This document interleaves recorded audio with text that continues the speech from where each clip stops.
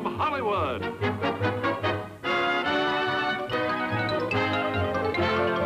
The Jack Benny Program.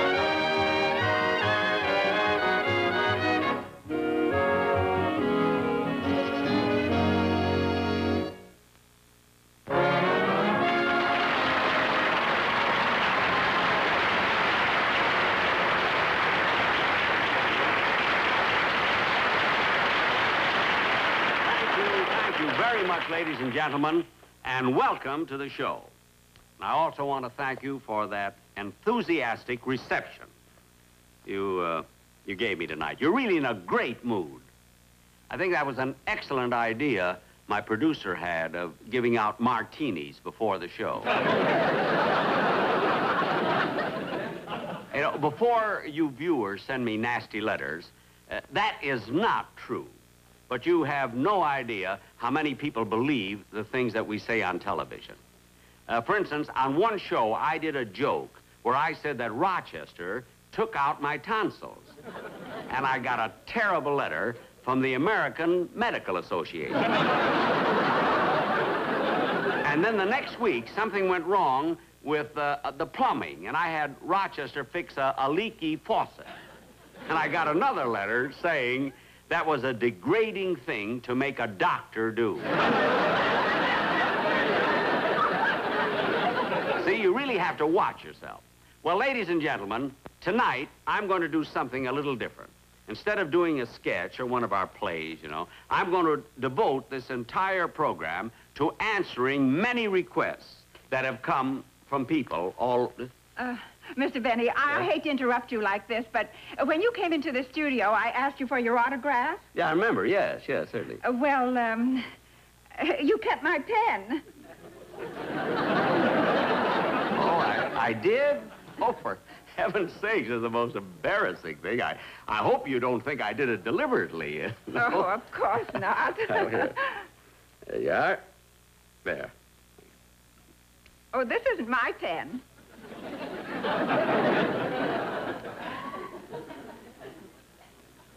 There. There.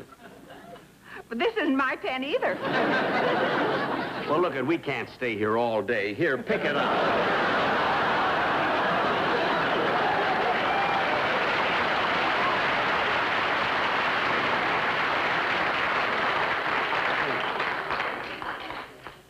Well, don't you see it? No. Oh, well, here, take this one. A quill? I've been a star for a long time. You certainly have. You know, I have a feeling Mount Rushmore will wear out before you do. Well, thank you, and I hope so. Goodbye. Thank you very much. Now, uh, where was I? Oh, yes. I, as I started to tell you, I'm going to devote tonight's entire program to answering requests that have come in from many of my viewers. Now, I can't answer all of them. I just picked some of the, you know, several letters that were important, I think, and, uh, and, uh, and uh, that the people will enjoy, you know, listening to the answers. The... Oh, Don, would you bring out my letters, please?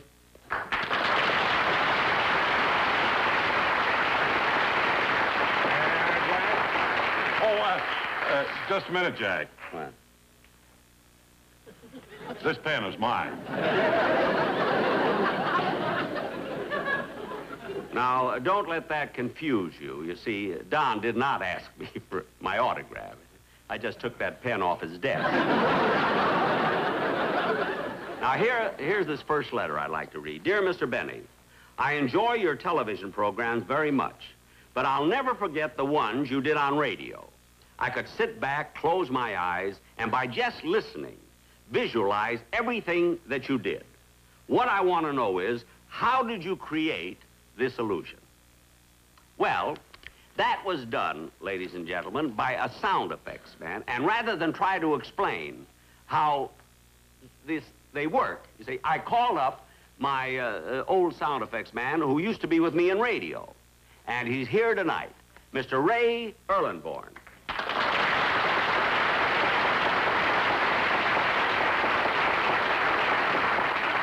Well, Ray, it's nice to have you here. Thank you. Now, um, did you bring your equipment Oh, here yes. for the sound effects? Yes, it's all set up right here.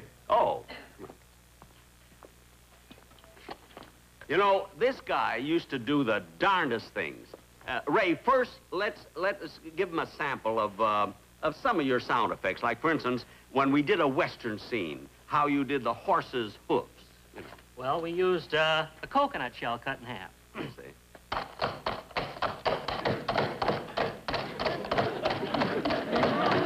Whoa, whoa, Wonderful. Now, show them also how you did a do a parade of marching soldiers. Oh, sure. All the things we used to do in radio. Yeah, go ahead. Forward,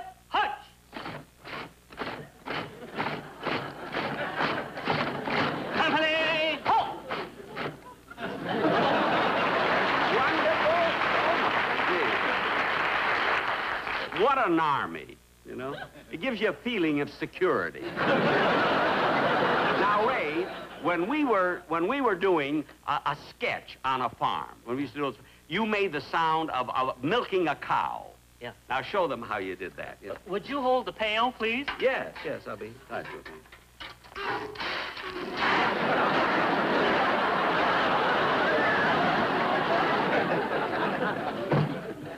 Gee, farming is fun, isn't it? so clever. You know, whenever we had sound effects, uh, a problem, you know, Ray solved it. Ray, do you remember one time we, we did a radio show where I was dancing with a beautiful girl, you know, and as the lights got lower and lower, our faces got closer and closer. Now, how did you reproduce that delicate sound as my cheek touched hers? Well, I, I took a hot water bottle and slapped it with a pound of raw liver.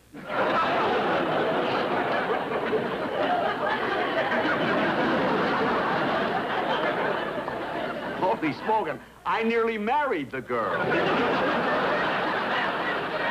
now, but Ray really had a sound for everything. He could even reproduce the sound of a man getting his shoes shined. Now, show them how you did that, a man getting his shoes shined. Go ahead. Well, I, I haven't done that in a long time. No, I want to see it. Go ahead. Well, okay. Go ahead.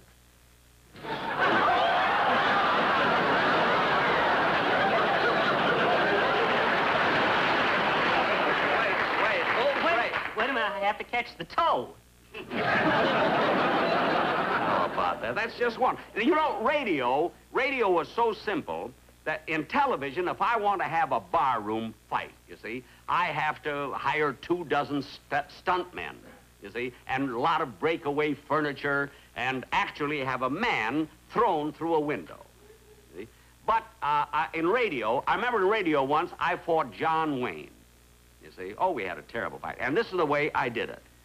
He insulted me, and I said to him, Oh, yeah? Take that.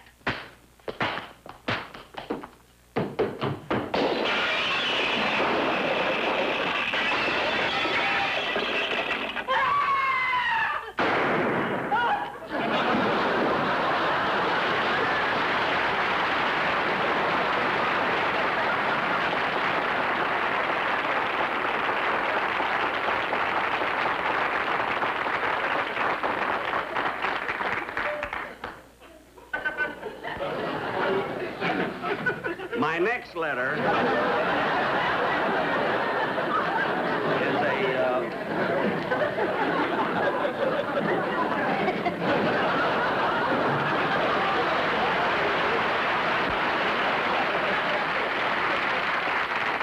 you know, on, on radio, I used to be able to beat up John Wayne. On television, I wouldn't tangle with Loretta Young. I'd like to present my singing star, Dennis Day.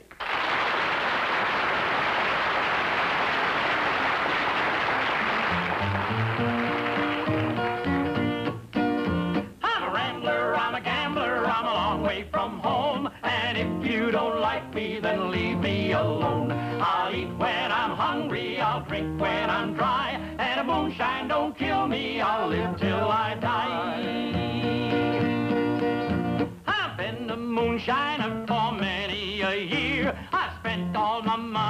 on whiskey and beer. I'll go to some holler, I'll set up my still, and I'll make you a gallon for a five dollar bill. I'm a rambler, I'm a gambler, I'm a long way from home, and if you don't like me, then leave me alone. I'll eat when I'm hungry, I'll drink when I'm dry, and if moonshine don't kill me, I'll live till I die.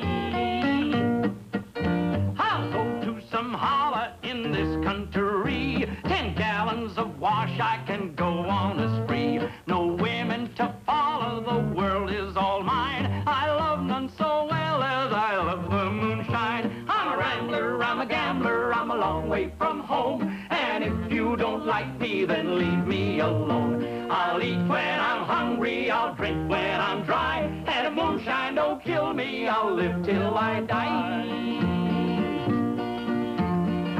Moonshine, dear moonshine, oh, how I love thee. You killed me, old father, but now you try me. Oh, bless all moonshiners and bless all moonshine. Your breath smell as sweet as the dew on the vine. I'm a rambler, I'm a gambler, I'm a long way from home. And if you don't like me, then leave me alone. I'll eat when I'm hungry, I'll drink when I'm dry. And a moonshine don't kill me, I'll live till I die. I'm a rambler, I'm a gambler, I'm a long way from home. And if you don't like me, then leave me alone. I'll eat when I'm hungry, I'll drink when I'm dry. And a moonshine don't kill me, I'll live till I die.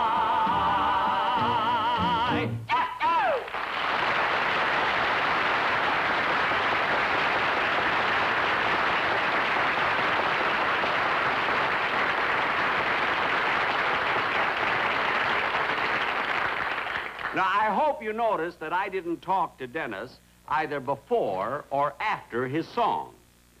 And the reason I didn't will be explained in this next letter I'm going to read.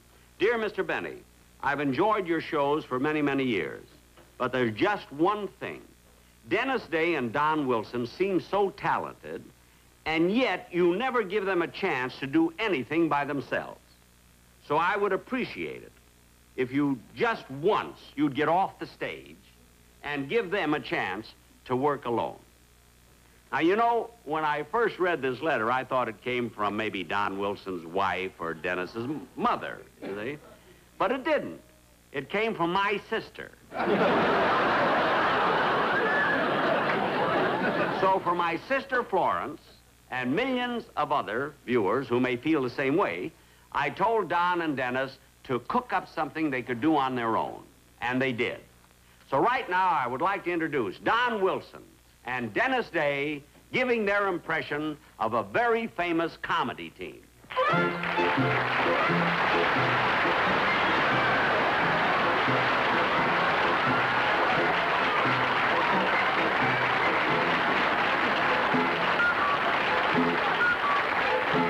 Stanley. Stanley. What is it, Ollie? Why are you stopping the car? I think we have a flat tire. But you don't think you have a flat tire. Get out and look. All right, Ollie.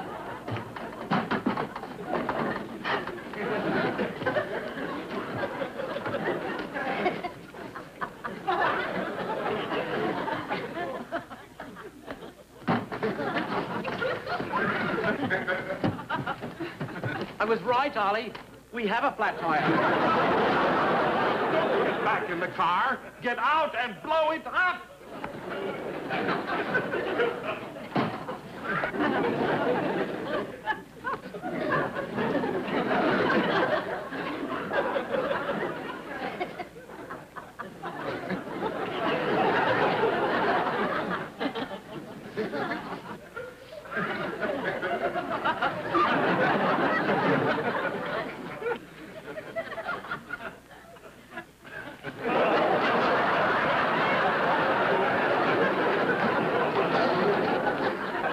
What are you doing?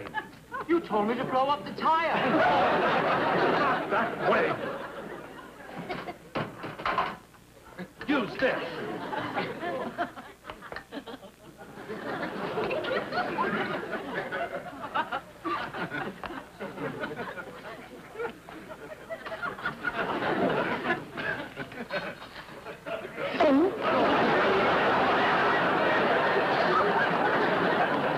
Give me that.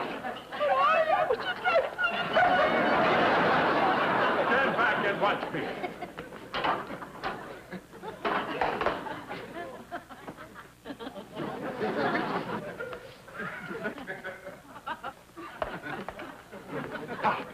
Watch me and see how it's done.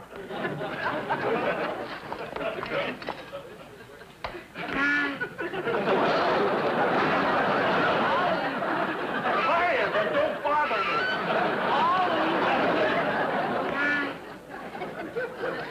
Ollie! Quiet!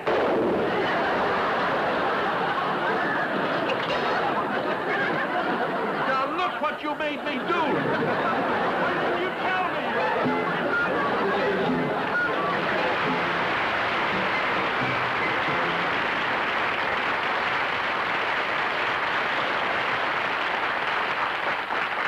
Hey, Don, Dennis, come, come back here.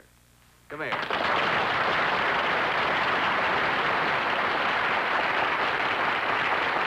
Well, Don, Dennis, I want to say you did a wonderful, that was a most wonderful imitation of Laurel and Hardy. Who? Laurel and Hardy. I thought we were doing Amos and Andy.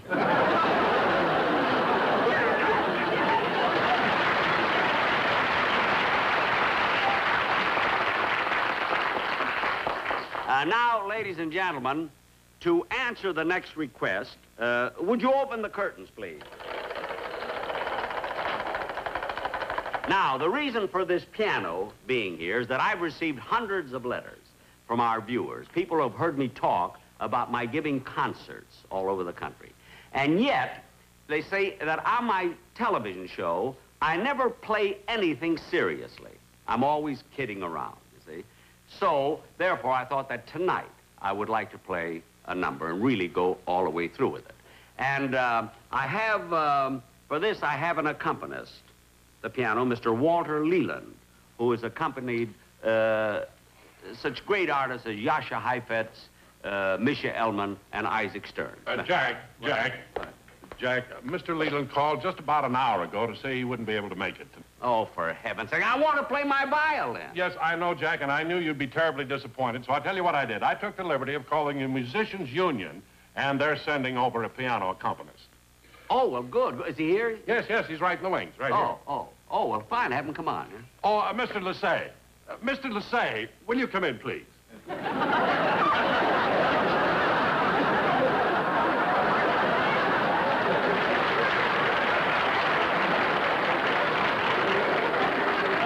Jack, this is Mr. Benjamin Lassay.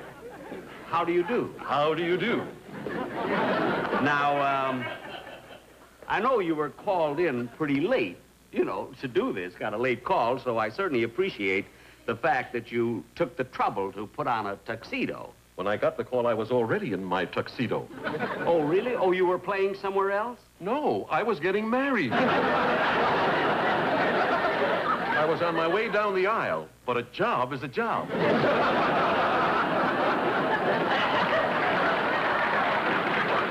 Well, I mean, how did you have the nerve to leave your bride? But when you've got my looks, you can afford to be a cad.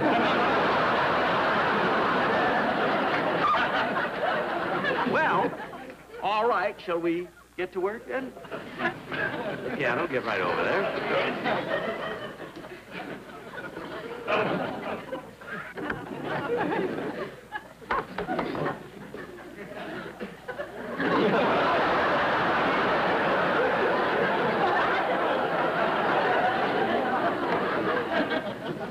right.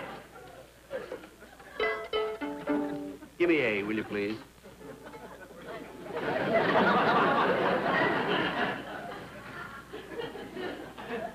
Where do I blow? You don't blow any. Never mind. J- give me the right A, will you? Now, we'll play. Let's uh, let's play the Brahms Hungarian Rhapsody. Yeah?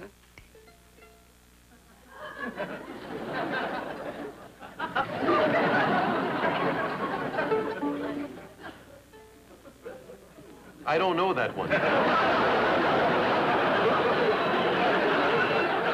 Well, let's play my theme song, Love in Bloom. Okay. I mean, introduction, please.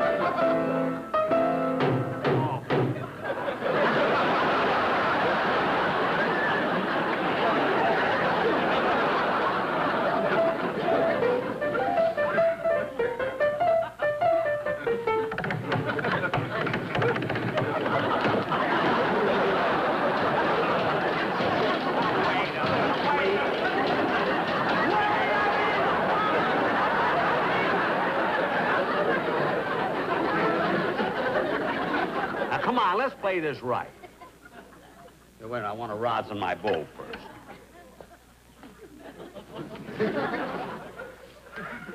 Hmm? Later, I'm robbing a safe. Play level. Ready?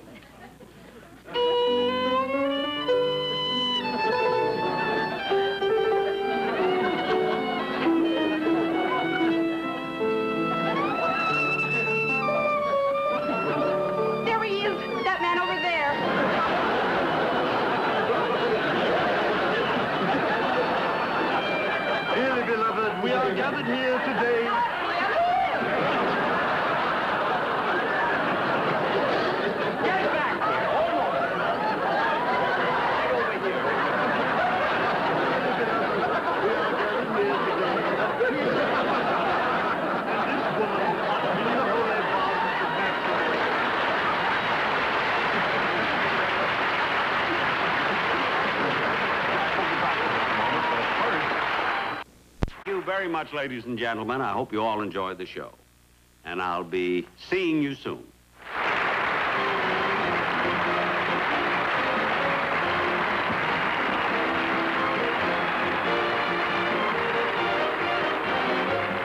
Hi, I'm William Conrad. Join me for Cannon tonight at 8 on TV 20.